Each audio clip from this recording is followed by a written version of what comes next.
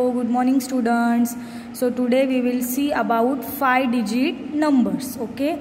So for the four digit number the place values are unit tens hundred and thousand okay? And for the five digit number we will add here one place value that is tth means 10000 okay? T for 10 and th for 1000 understand? Now see here I have written one number. Count here how many digits? 1 2 3 4 and 5 okay? So here how many digits? 5 digits. So how we will read?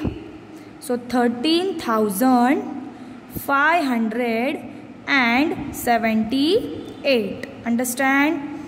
How to read? 5 digit number now see next number is this one is here also how many digits? 5 digits okay?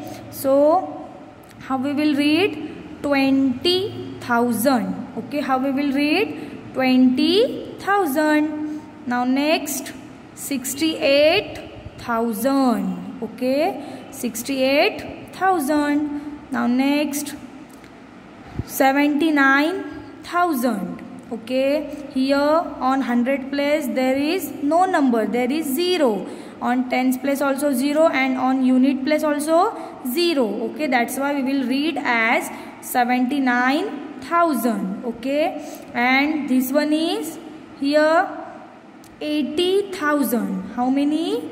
80000 understand how to write 5 digit number? Okay now see this question look at the symbols and read the number they make. Okay? See here. So on unit place how many symbol? Only one. That's why here one. Then on tens place there is how many symbols? One two. That's why here two. Then on hundred place one. On thousand place two symbols. And on 10,000 place four symbols are there okay? Now see how we will read this number.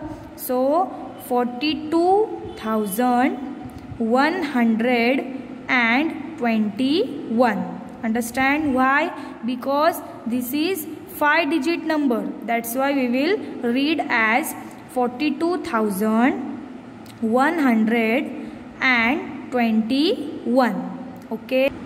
Now see here on unit place only one symbol is there. Okay that's why here 1 then on tens place there is no symbol. On 100 place also and on 1000 place also. That's why here 0 0 and 0 okay and on 10000 place there is five symbols. 1 2 3 4 and 5 okay that's why here number 5 now how you will read? So 50000 and 1 okay. Now see this.